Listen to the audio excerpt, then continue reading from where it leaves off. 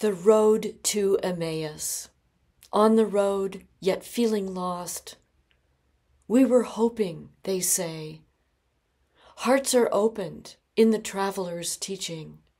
Eyes are opened in the breaking of the bread.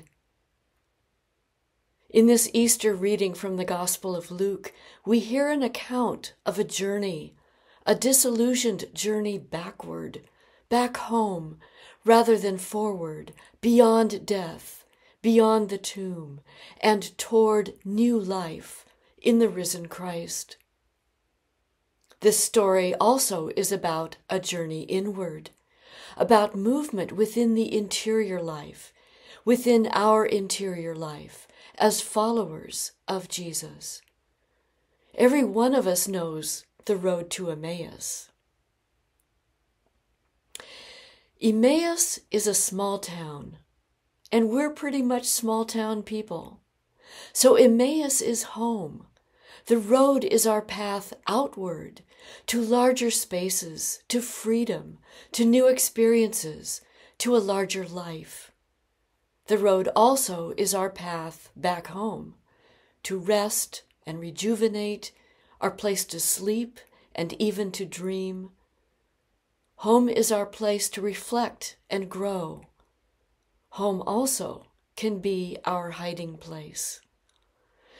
So let's think back on Luke's story. On that morning, following all these things that shook us to our core, we knew we had to leave Jerusalem, our spiritual center, which was now no center at all. Shattered is the word that describes us. The one we loved, the one who led us, is now dead, buried. We were hoping, but apparently we were wrong. When we saw the tomb sealed with stone, we finally understood it's over. Clearly, we grieve. Grief is a theme of Holy Week. Grief also is a theme of the Easter season. Why grief? Because Jesus' total nonviolent self offering in the cause of costly love shows us what awaits us, his followers. Maybe not through crucifixion, but surely through setting our hearts, as Jesus set his, firm in the intention of total, nonviolent self offering in the cause of costly love. There's a dying here, even amid the Alleluias. Death is our necessary passage to new life. Grief reminds us that our love for what is dying is worthy love. Grief is a visitation of love. So let's take a closer look. The road, the path, the trail speaks to your uniquely Christ centered interior life, which still has much to teach you, as the early disciples learned. In honor of Earth Day, as well as Easter, and because I love to hike, I'll share with you a few trail metaphors for the interior journey the path, the river, switchbacks, bridges, and narrow passages, and living, dying, and birthing new life. So, what can the road to Emmaus teach us disciples today? First, path is metaphor for your interior life. Some might call it the spiritual life, a word that tends to disembody us. Hiking the trail, reading the trail, is all about being in your body, your physical senses fully alive, and bringing you rich and vital information about the world you touch. The path has a beginning, a middle, and an end. Your life has the same a beginning, a middle, and an end. A road well taken, a path well trod, a hike well done, a life honestly lived gives you a sense of satisfaction, a sense of meaning and worthy contribution. The path is smooth until it's not. Tree roots and rocks embedded in the path are part of the metaphor of your life. Tree roots and rocks hidden in shade seem to rise up an inch just to make sure I'm paying attention. And if I'm not, they bring me back to the here and now. A path without tree roots would be a forest without trees. A life without obstacles is no life at all. I am not entitled to a life free of obstacles. So you can ask yourself what tree roots or rocks, what situations or experiences have snapped me back to the here and now? How have these situations caused me to pay attention differently? What story comes to mind? Second, river also is metaphor for your interior life. Rivers follow the path of least resistance, as water always does. Like the trail I hike, like my own life, the path of the river has a beginning, a middle, and an end. My beloved McKenzie River bubbles up from a sulfur spring in a little cove of Clear Lake high in the Oregon Cascades. The river progresses from this little spring, at one point running underground, then surfacing again, at sometimes racing rapids, sometimes branching into meandering channels. Indigenous peoples understand, as our own forebears understood, water is life.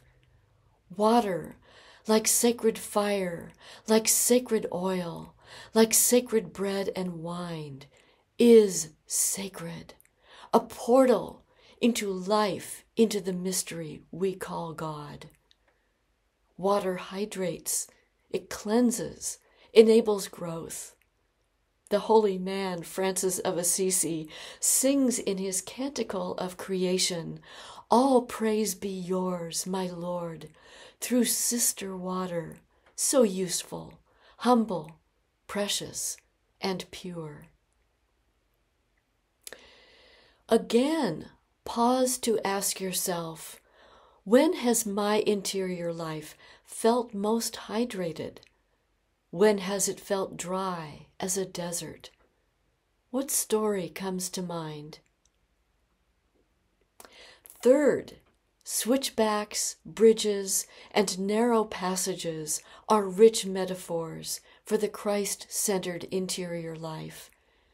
I know I'm on a steep climb when I come to the switchbacks, the tight zigzags that ease the way uphill. Whether I'm going up or coming down, I pay fierce attention to the trail, walk intentionally and with faith. The Christ centered interior life is the place of commitment to what will stretch you, challenge you, and guide you across thresholds of endurance beyond what you had imagined. Bridges require my full attention, narrow split log bridges which tilt slightly toward the single handrail, where I feel the give and take tremor as I carefully make my way across. Bridges hold a significant place in the interior life. They appear when we need them, spans which are thoughtfully crafted by someone who has walked the path before us, like Jesus, from here to there. Bridges carry us over impassable terrain, over perilous water, over thin air, enabling us to achieve what otherwise would be impossible. Bridges, interiorly, are arcs of possibility, non-violent arcs of peace in an often heartless and traumatized world. And every forest trail has its narrow passages. Again, metaphor for the interior life. Barely more than a foot's width wide, treacherous, impossible passages. This is exactly where those early disciples found themselves. Like them, you've come too far to turn back now, and you dare not look back, nor too far ahead, lest you lose all sense of balance. You know you have it in you to move forward, finding possibility and mercy in each small, careful step. So you can ask yourself when in my interior life have I felt stretched, challenged, and somehow guided across thresholds of unknowing beyond what I had imagined? What stories come to mind? And fourth, living, dying, and birthing new life are all rich metaphors for the interior life. At the end of the Emmaus story comes an encounter, unimagined communion with the one who has entered into elsewhere, yet is very much here. The disheartened disciples are on the path of their interior life, in the painful place of living yet dying, even while birthing new life. This place of incomprehension is exactly where Jesus meets them. In this unexpected supper table encounter, they may have thought they were birthing new hope for their lives. Little did they know they were birthing new church. Living, we discover, is part of the larger environment of dying and dying is part of the larger environment of living new life, holding space for the past, even as we follow the risen Christ into our future. Life carries us this way, whether we know it or not. We can trust life just as we can trust the road, the path, the trail, as Jesus did.